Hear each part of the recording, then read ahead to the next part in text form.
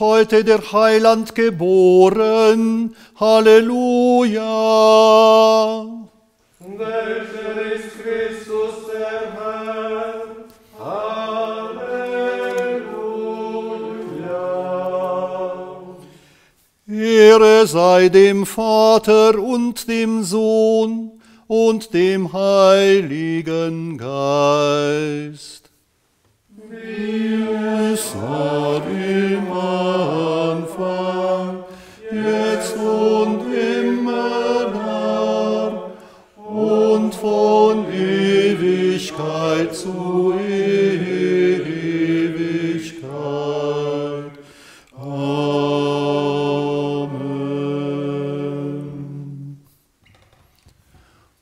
Der Herr sei mit euch. Und mit deinem Geist. Lasst uns beten. Barmherziger Gott und Vater, du hast bei der Geburt deines Sohnes allen Menschen deinen Frieden und dein Wohlgefallen verkündigen lassen. Wir bitten dich, gib, dass wir in dieser heiligen Nacht dich mit allen Engeln im Himmel und deiner ganzen Kirche auf Erden anbeten, rühmen und preisen. Durch unseren Herrn Jesus Christus, deinen lieben Sohn, unseren Herrn. Amen. Liebe Schwestern und Brüder, aus dem Herzen der rumänischen Hauptstadt Bukarest überbringe ich Ihnen die weihnachtlichen Grüße von der Evangelischen Kirche Augsburgischen Bekenntnisses aus Rumänien und freue mich, dass Sie an diesem Gottesdienst von daheim zu daheim teilnehmen und zugeschaltet haben. Der bekannte evangelische Theologe des 19. Jahrhunderts, Friedrich Boderschwing, sagte einmal, nach Hause kommen, das ist es, was das Kind von Bethlehem allen schenken will, die weinen, wachen und wandern auf dieser Erde. Und das will auch dieser Gottesdienst sein, der im pittoresken Ort Deutschweißkirch aufgenommen wurde. Eine Einladung, den Stall in Bethlehem ehrfürchtig zu betreten, jenen Ort, wo einst die Krippe stand. Und in dieser Krippe finden wir jenes Kind, den aller Weltkreis nie beschloss, wie es in einem bekannten Weihnachtslied heißt. Und dieses Kind hat besondere Gaben zu verschenken. Die Gabe zu ermutigen, die Gabe auszuhalten und die Gabe einfach nahe zu sein. Das Kind von Bethlehem will all jene ermutigen, die weinen, die angefochten und verzweifelt sind. Es will mit jenen wachen, die überbelastet, ängstlich und besorgt sind. Und es will mit jenen wandern, die stets auf der Suche sind. Wer diesem Kind begegnet, der ist tatsächlich daheim. Das heißt, sicher und geborgen. Und ein solches Gefühl des Daheimseins will dieser Gottesdienst vermitteln, den wir im Namen Gottes des Vaters feiern, der die Welt erschuf und erhält, im Namen Gottes des Sohnes, der Mensch wurde und uns erlöst, und im Namen Gottes des Heiligen Geistes, der uns stets begleitet und unseren Glauben immer erneuert. Amen.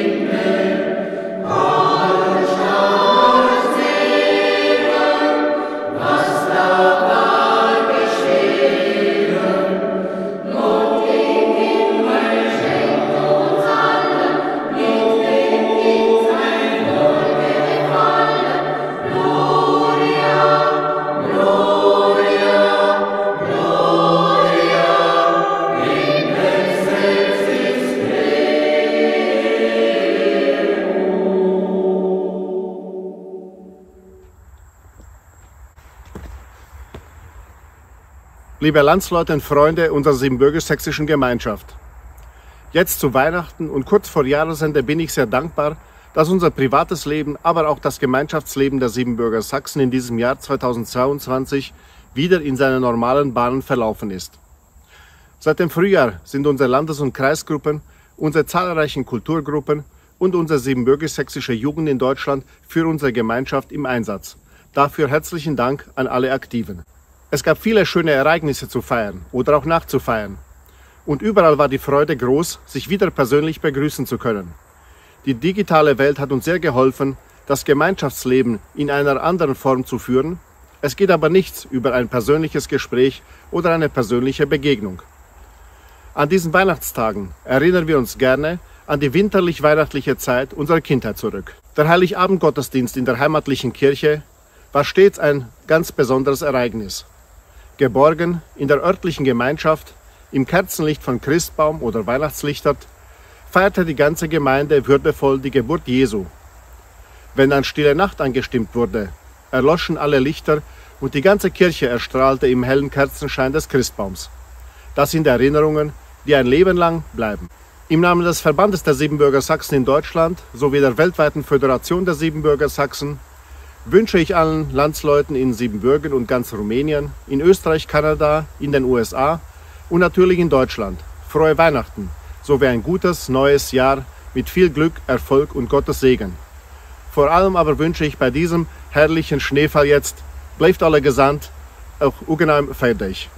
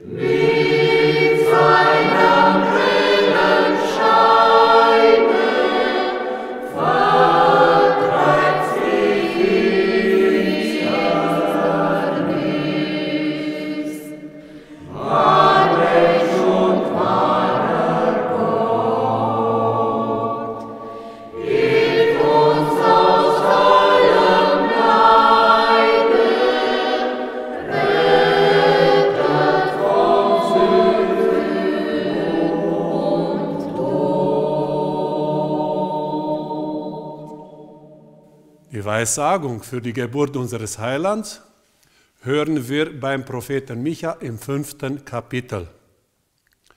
Du, Bethlehem Ephrata, die du klein bist unter den Tausenden in Juda, aus dir soll mir der kommen, der in Israel Herr sei, dessen Ausgang von Anfang und von Ewigkeit her gewesen ist. Indes lässt er sie plagen, bis auf die Zeit, dass die, welche gebären soll, geboren hat. Da wird dann erst der Rest seiner Brüder wiederkommen zu den Israeliten. Er aber wird auftreten und sie weiden in der Kraft des Herrn und in der Hoheit des Namens des Herrn seines Gottes. Und sie werden sicher wohnen, denn er wird zur selben Zeit herrlich werden, bis an die Enden der Erde, und er wird der Friede sein. Selig sind, die das Wort Gottes hören und bewahren. Halleluja. Halleluja,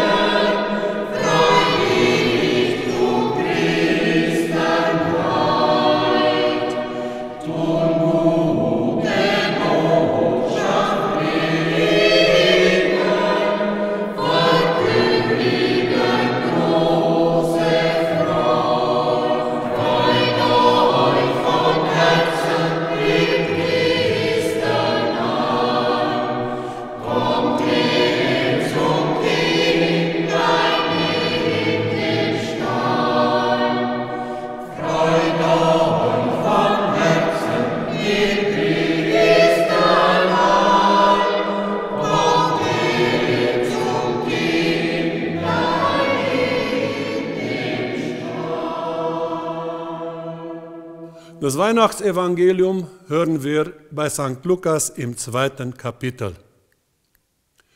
Es begab sich aber zu der Zeit, dass ein Gebot von dem Kaiser Augustus ausging, dass alle Welt geschätzt würde. Und diese Schätzung war die allererste und geschah zur Zeit, da Quirinius Statthalter in Syrien war. Und jedermann ging, dass er sich schätzen ließe, ein jeglicher in seine Stadt. Da machte sich auf auch Josef aus Galiläa, aus der Stadt Nazareth in das jüdische Land, zur Stadt Davids, die da heißt Bethlehem, darum, dass er von dem Hause und Geschlechte Davids war, auf das er sich schätzen ließe mit Maria, seinem vertrauten Weibe, die war schwanger. Und als sie da selbst waren, kam die Zeit, dass sie gebären sollte, und sie gebar ihren ersten Sohn und wickelte ihn in Windeln und legte ihn in eine Krippe, denn sie hatten sonst keinen Raum in der Herberge. Und es waren Hirten in derselben Gegend, auf dem Felde bei den Hürden, die hüteten des Nachts ihre Herde. Und des Herrn Engel trat zu ihnen, und die Klarheit des Herrn leuchtete um sie, und sie fürchteten sich sehr. Und der Engel sprach zu ihnen, fürchtet euch nicht. Siehe, ich verkündige euch große Freude, die allem Volk widerfahren wird. Denn euch ist heute der Heiland geboren, welcher ist Christus, der Herr, in der Stadt Davids. Und das habt zum Zeichen. Ihr werdet finden das Kind in Windeln gewickelt und in einer Krippe liegen. Und alsbald war bei dem Engel die Menge der himmlischen Heerscharen, die lobten Gott und sprachen, Ehre sei Gott in der Höhe und Friede auf Erden bei den Menschen seines Wohlgefallens. Gnade sei mit euch und Frieden von Gott dem Vater und unserem Herrn und Heiland Jesus Christus. Wir versammeln uns heute um Worte der Heiligen Schrift, wie sie geschrieben stehen im ersten Johannesbrief im dritten Kapitel. Seht, welch eine Liebe hat uns der Vater verheißen, dass wir Gottes Kinder heißen sollen und wir es auch sind. Darum erkennt uns die Welt nicht, denn sie hat ihn nicht erkannt. Meine Lieben, wir sind schon Gottes Kinder, es ist aber noch nicht offenbar geworden, was wir sein werden. Wir wissen, wenn es offenbar wird, werden wir ihm gleich sein, denn wir werden ihn sehen, wie er ist. Und jeder, der solche Hoffnung auf ihn hat, der reinigt sich, wie auch jener rein ist. Wer Sünde tut, der tut auch Unrecht. Und die Sünde ist das Unrecht. Und ihr wisst, dass er erschienen ist, damit er die Sünden wegnehme, und in ihm ist keine Sünde. Soweit die Worte der Heiligen Schrift. Der Herr segne unser Reden und Hören durch seinen Heiligen Geist. Amen. Liebe Schwestern und Brüder, die Feste, die wir feiern, haben jeweils einen Anlass und eine Bedeutung. Der Anlass und die Bedeutung unterscheiden die Feste auch von dem Alltäglichen und geben den Grund zum Feiern vor. Feste erinnern uns an wichtige Ereignisse aus unserem Leben oder aus dem Leben der Gemeinschaft, der wir angehören. Sie erinnern uns, dass sich eine gewisse Zahl von Jahren angesammelt haben seit dem Tag, an dem wir geboren wurden. Sie erinnern an den Tag der Hochzeit oder an eine lange Reihe von Jahren seit der ersten urkundlichen Erwähnung unseres Heimatortes. Würde man aber jemanden heute spontan fragen, welches der eigentliche Anlass und die eigentliche Bedeutung des Weihnachtsfestes sind, dann würde man vermutlich erstmals bei vielen Menschen in verdutzte Gesichter schauen. Andererseits feiern heute viele Menschen den Geburtstag von jemandem, dessen Botschaft sie in ihrem alltäglichen Leben kaum mehr eine Rolle einräumen. Warum feiern wir also heute doch immerhin gut 2000 Jahre seit dem ursprünglichen Ereignis noch Weihnachten? An die Bedeutung von Weihnachten erinnert mich persönlich immer eine Geschichte, die ich einst gelesen habe und die mich zum Nachdenken brachte und die ich heute auch erzählen möchte. Die Geschichte handelt von einem renommierten Bild des heiligen Abendmahls von Leonardo da Vinci, welches heute im Grunde genommen der ganzen christlichen Welt recht bekannt ist. Dies hatte im Jahr 1495 der Herzog Lodovico Sforza bei dem großen Meister bestellt und es sollte den Speisesaal des Dominikanerklosters Santa Maria della Grazie schmücken. Leonardo machte sich erstmals einen Entwurf von dem Gemälde und ging dann durch die Straßen Mailands, um sich ein Modell für das Antlitz Christi zu suchen, denn mit diesem wollte er sein Werk beginnen. Erst nach langem Herumstreifen fand er endlich am Ufer des Olona jemanden, der seinen Vorstellungen von Christus entsprach.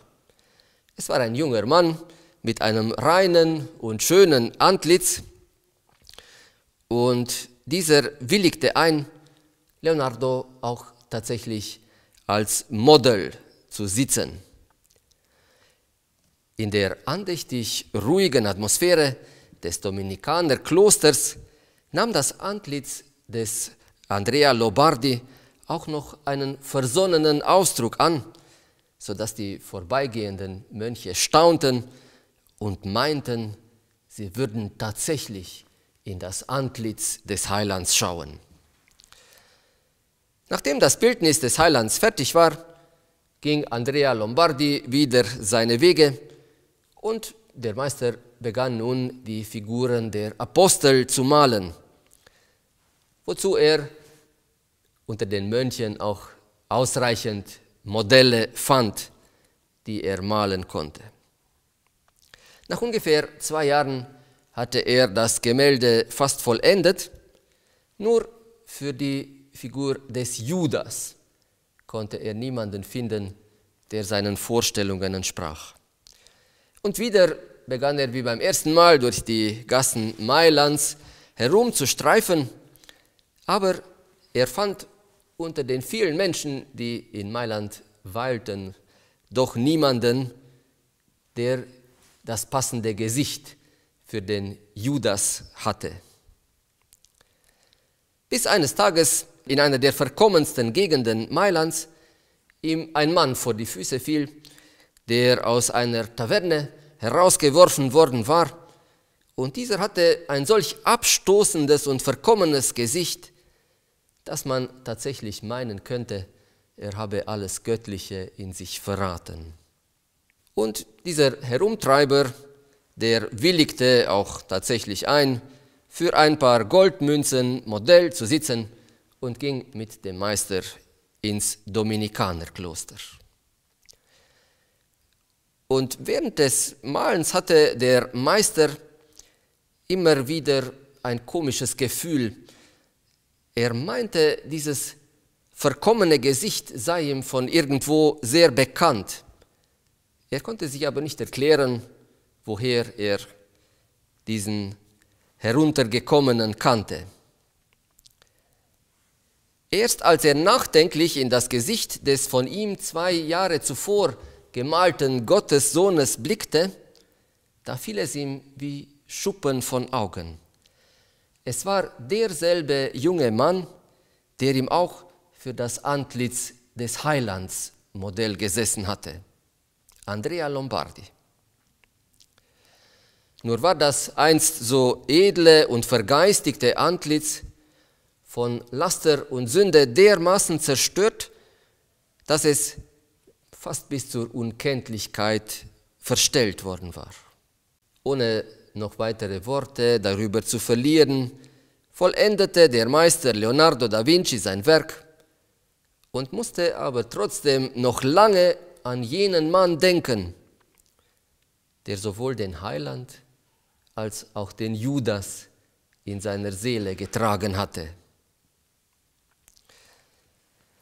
Das Interessante an dieser Geschichte das, was uns nachdenklich macht, ist die Tatsache, dass sie uns die höchst gegensätzlichen Möglichkeiten eines menschlichen Lebens aufzeigt. Jeder Mensch kann Gott ähnlich werden, so wie Andrea Lombardi, solange er auf dem rechten Weg wandelte. Oder er kann einem Judas gleichen, sobald er dem Laster, dem Suff oder den Leidenschaften in die Hände fällt, so dass das Göttliche in ihm verraten wird und er seine Seele letztendlich dem Bösen überlassen muss. Und auch in den Gesichtern von Menschen, die uns begegnen, spiegelt sich entweder das Göttliche wider, wenn sie uns sanftmütig, versonnen, freundlich oder mit einem gütigen Glanz begegnen, oder eben das Verlorene, wenn sie verlebt, abstoßend oder verwahrlost aussehen. So wie Andrea Lombardi, nachdem er aus einem uns unbekannten Grund von dem rechten Weg abgekommen war. Es hängt eben vieles davon ab, wohin wir uns auf unserem Lebensweg hinbewegen. Wollen wir uns auf Christus und auf Gott zubewegen oder wollen wir uns auf den zubewegen, der einst den Judas zum Fall gebracht hat? Wir wissen, wer gemeint ist. Und liebe Schwestern und Brüder, das Weihnachtsfest ist jenseits von allem drumherum eigentlich im Wesentlichen ein Wegweiser auf unserem Lebensweg, der uns erinnert, wohin unsere Reise gehen sollte, nämlich hin zu jenem Kindlein, das uns die Liebe Gottes offenbart, das uns daran erinnert, dass Gott sich wie ein guter Vater um seine Kinder sorgt und bemüht. Die heutige Weihnachtsbotschaft beginnt gerade mit der Aufforderung zu sehen, also zu erkennen, wie Gott an den Menschen handelt, nämlich in der Liebe. Durch das Verhältnis Eltern-Kinder, das wir ja alle kennen, denn wir sind entweder Eltern oder Kinder unserer Eltern, versucht Johannes das Christusgeheimnis zu veranschaulichen, nämlich dass Gott sein Kind zu uns gesandt hat, damit wir Gottes Kinder sein dürfen. Oder anders gesagt, seit Weihnachten sind wir nicht mehr fremde, verlorene Geschöpfe auf dieser Erde, die nicht wissen, woher sie kommen und wohin sie gehen und sich wundern, dass sie doch so fröhlich sind, sondern seit Weihnachten wissen wir, dass wir ein Vaterhaus haben, aus dem wir kommen, in dem wir auch geborgen sind und zu dem wir dereinst zurückkehren dürfen, wenn wir unseren irdischen Wandel beendet haben. Freilich, dass wir Brüder und Schwestern des Christkindes geworden sind und dass wir Kinder Gottes sind, das ist in der Welt noch nicht offenbar geworden. Es ist das Geheimnis des Glaubens, das nur durch diesen erkennbar ist. Und deswegen sagt der Apostel Paulus auch abschließend, wer diesen Wegweiser im Licht des Weihnachtsfestes sieht und wer diesem Kindlein folgen will, der wird nicht an Laster und Sünde verloren gehen, sondern er wird ein Kind Gottes und Erbe seiner Verheißung bleiben. In diesem Sinne wünsche ich euch allen frohe Weihnachten. Amen. Amen.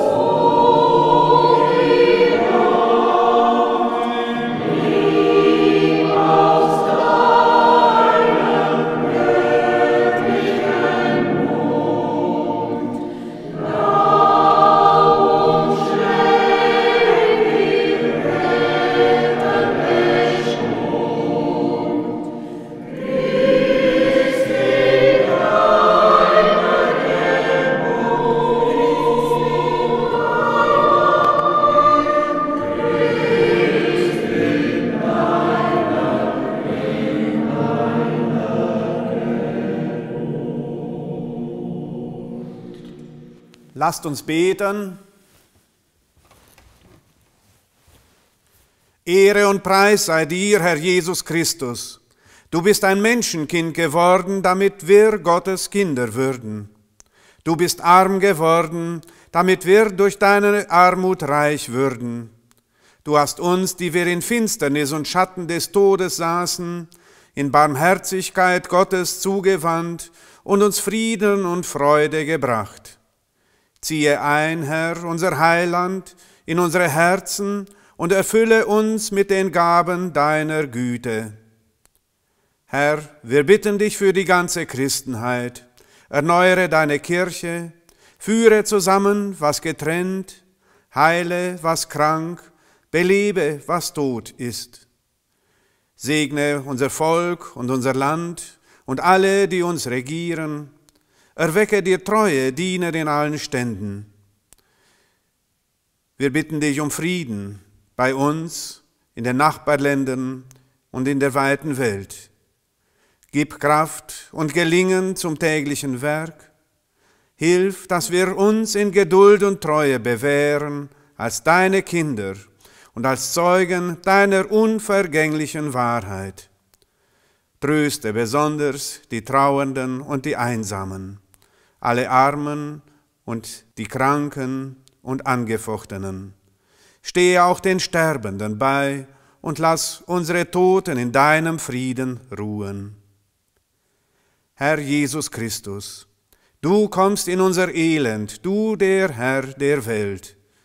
Dich beten wir an, nimm hin unser ganzes Wesen. Vater unser im Himmel, geheiligt werde dein Name, dein Reich komme, dein Wille geschehe wie im Himmel, so auf Erden. Unser tägliches Brot gib uns heute und vergib uns unsere Schuld, wie auch wir vergeben unseren Schuldigern. Und führe uns nicht in Versuchung, sondern erlöse uns von dem Bösen. Denn dein ist das Reich und die Kraft und die Herrlichkeit in Ewigkeit. Amen. Liebe Schwestern und Brüder, lasst uns nun gehen in die Weihnachtsfeiertage mit dem Segen unseres Gottes.